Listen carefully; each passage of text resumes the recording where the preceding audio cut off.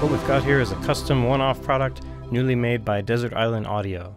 It consists of a vintage Neve input transformer, followed by a reproduction 1272 input card, and then a vintage Langevin EQ251 passive EQ, and then a Carnhill modern output transformer. They just don't make recording equipment like this anymore. Look at the gears inside, how when you turn the knobs selecting different frequencies in the EQ, little wipers move on little cams and select different traces on the board.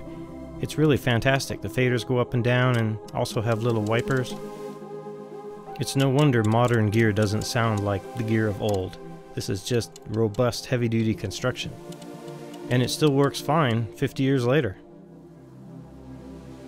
On the backside we have a mic in, a line in, and a DI in, which is awesome for plugging in a guitar.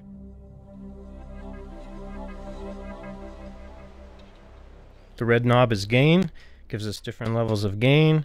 The blue knob is line gain. We've got 48 volt phantom power, a phase switch, and an output fader.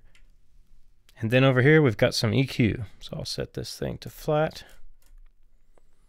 So there's flat EQ.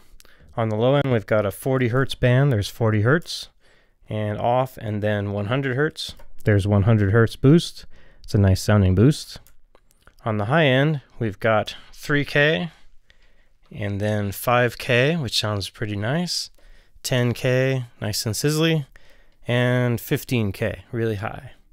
So I'm going to switch this thing to 10K and 100 hertz. Give myself a little smile curve EQ. There we go. Check one, two, check one, two. There's EQ off right there.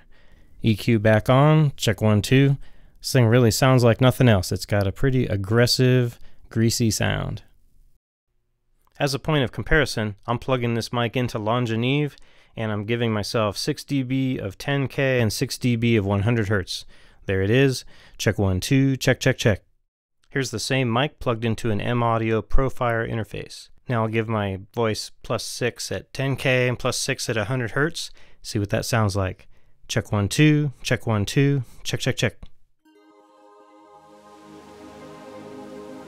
We've had a lot of fun playing with this thing. It's a pretty cool, unique box that you won't find anywhere else.